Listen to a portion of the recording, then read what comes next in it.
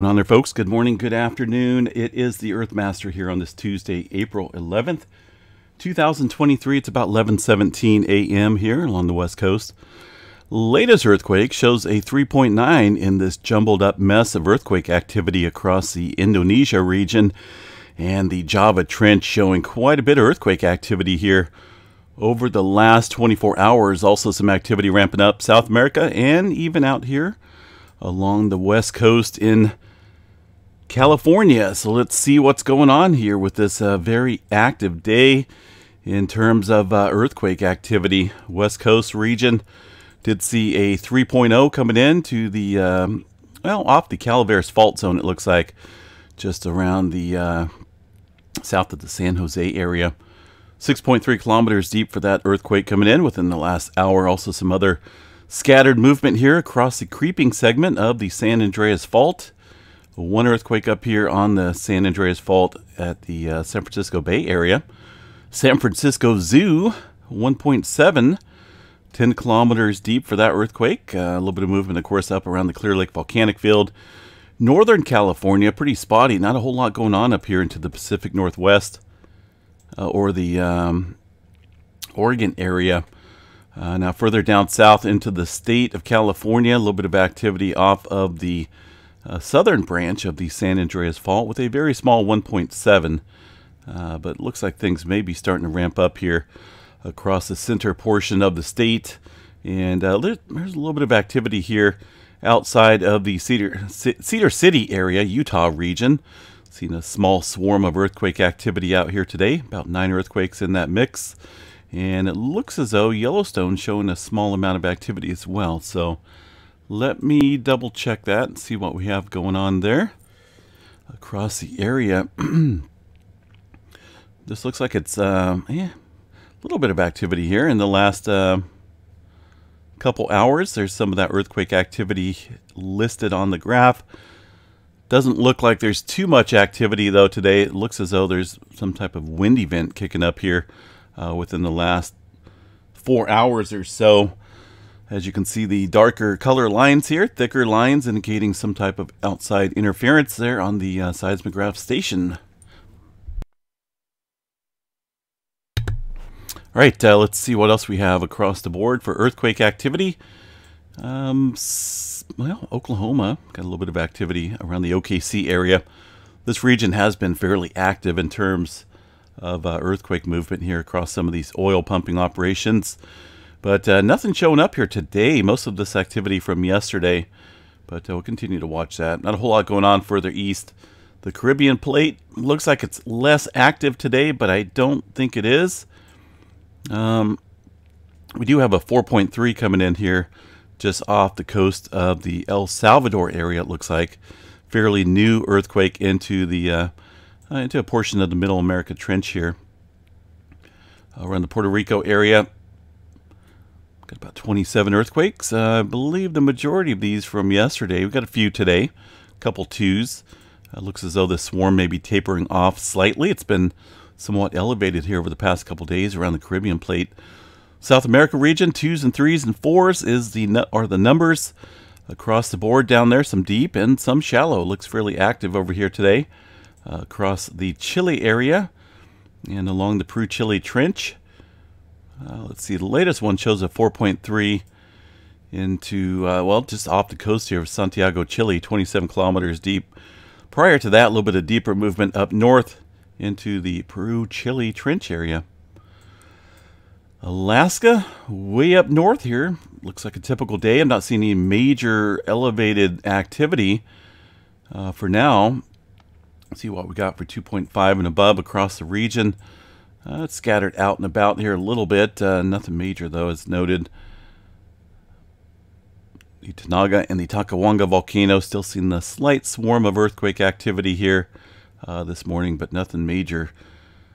Changing overnight, uh, Kuril Trench over here near Russia. That earthquake, 111 kilometers deep for a 4.9.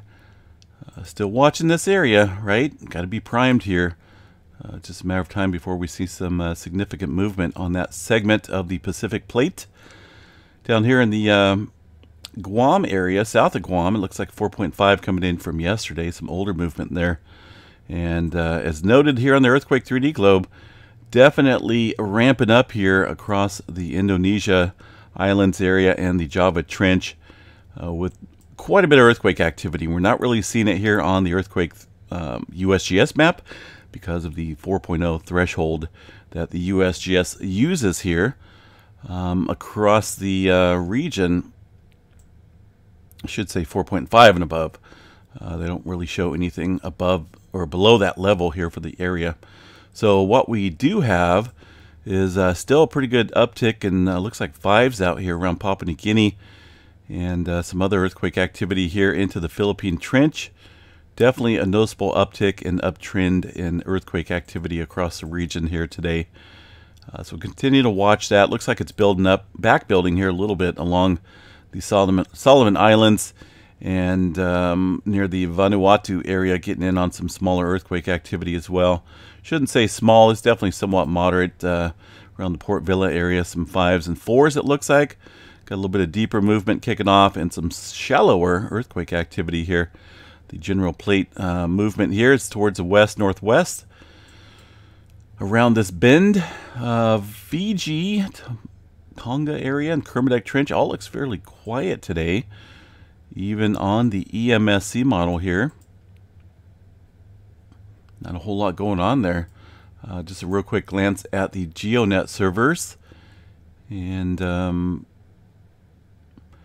looks like the at least the, the most felt one was a 3.4 from yesterday there in the uh, New Zealand region. Quick glance at the EMSC model, or the uh, GeoNet earthquake drums, I should say. Uh, doesn't show a whole lot. Been awfully quiet down there. All right, uh, let's see what else we got. The big island of Hawaii. Only uh, seven earthquakes today. Most of that from yesterday. Do have a couple of smaller earthquakes around the Pahala area, but this is all very typical. Taking a little break out there, it looks like, on the big island for earthquake activity. Uh, further west, some movement out around eastern Afghanistan. And um, the latest one up here, north, well northeast of the Afghanistan region with that 4.9. Very shallow earthquake there, 1.7 kilometers below the surface. And a glance here at the globe confirms the USGS information out here. Not a whole lot going on across this area for now. The Atlantic Ocean, very quiet. So a couple different regional uh, areas to watch here today. Looks like, uh, kind of looks like there was a newer earthquake out here around the southern end of the Kuril Kamchatka Trench just off the coast of Japan. USGS really not showing that earthquake, so uh, might see a little uptick here across the region today, it looks like. Uh, but the big deal definitely around the Indonesia area. Uh, in areas, in times like this when it's bunched up and clustered together, most of the time this momentum, uh, this cluster of quakes that we're seeing, the momentum from it should shoot around the plate boundary or nearby. Uh, in this case, it could be up north here of the Java Trench, uh, but also at the same time here, if it kind of builds up and compacts, uh, far as the momentum goes, we could see that back building of earthquake activity here. Uh, it's similar to kind of what we're seeing right now, although some of this activity here from yesterday. But uh, either way, definitely a wide area of earthquake activity to watch here today across the region. All right, uh, space weather activity from the solarham.net site. See what we got with new sunspots. Um, well, let's see. The one that's currently facing us, almost directly squared up. We got two of those. Um, still fairly unstable with this sunspot region. This one not so much. Uh, but we are watching this fairly massive sunspot region down here on the southeastern limb of the sun that could pose some further flaring threat in the coming days. Uh, but I think for right now, our main probable threat for some flaring, looking at the magnetic structure, is going to be 3272 and uh, 3276, with an overall threat for 95% chance for C flare, M flare at 35% chance, X flare at 5% And overnight, we just had some very minimal solar flare activity. Uh, looks like we did maybe peak out into the low M flare category. But aside from that, things kind of taking a downhill turn for now. Uh, as far as the aurora forecast goes, not a whole lot of forecast to chat about here. Very minimal conditions at the higher latitudes for now.